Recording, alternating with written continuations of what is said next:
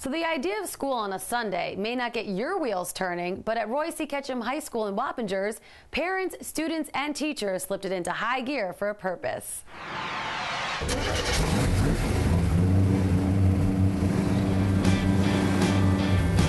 Get your motor running. This, this got to be a tough car to maneuver in today's traffic. Head out to the high school. Woo! Go catch 'em! Nice ride. Nice ride. Smooth. Even on a Sunday? Sunday, Sunday, Sunday. They love school so much they, they want to be here on Sundays. For the past two years, the community has embraced the Roy C. Ketcham Fall Fest and Car Show. It's a big car. Yeah, it's long. It's a boat.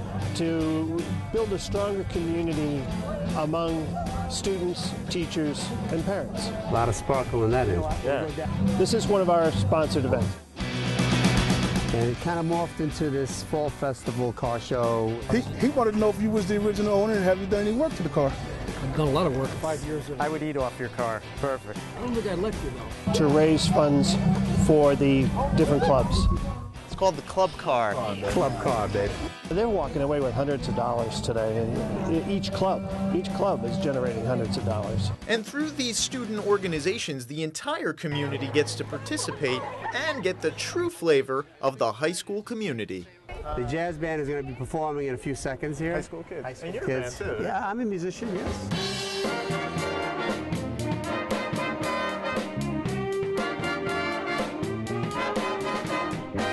I, I, I play for the kids every once in a while, but this is about them. Is the MSG Varsity right here? We do every school spirit contest that MSG has, and we've won most of them. We've been seen by over 3 million viewers on Optimum Cable. K E T C H A M. Out of 80 schools in the region, uh, we demonstrated uh, our superior school spirit. Red, blue, again. It will mostly go to our Cheer Booster Club, which is where we get um, our fundraising money goes to for like our competitions, bows, uniforms, basically anything. That's like our fundraiser money, so we put it in like our own little thing. Hello. Future scientists of America. I think what really gets my motor running is the kids. Just watching the kids express themselves, show their talent, show their industry, show their interest. All right, so that these are smoothies for breast cancer. It gives us a, a reason to come together. Like that? Yeah, lunch, straight lunch. Walking lunch. I think I can do it. And then the kids take it from there. Whatever they get out of, you know, their classwork and throughout the school day and their studies, they get a chance to expand that. The car show is window dressing, really. but also an appropriate backdrop for RCK's SADD organization to remind the community about safe and responsible driving. We're actually charging $2 for the golf cart. Got to buckle up first.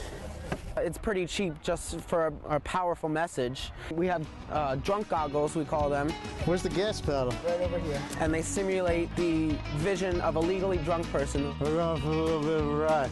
I don't even see the cone. People run over the cones constantly. This is kind of what it feels like, right? Yep. Not that you drink.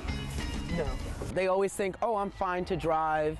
And they're, they're not. They could cause some serious damage. Lock me up. We're doing a pledge. People could sign a banner to promise to drive responsibly and promise to always be awake and alert while they're driving to just prevent accidents in the future. So how was it? Disorienting. Is this a good thing to remind people about, especially there being a car show here today? Yeah, that definitely coincides with the theme. And even if it does mean school on a Sunday, the underlying theme of the event was to just get out and spend the day with community so parents, teachers, and students can learn by living together. You got a car, you drive, be safe.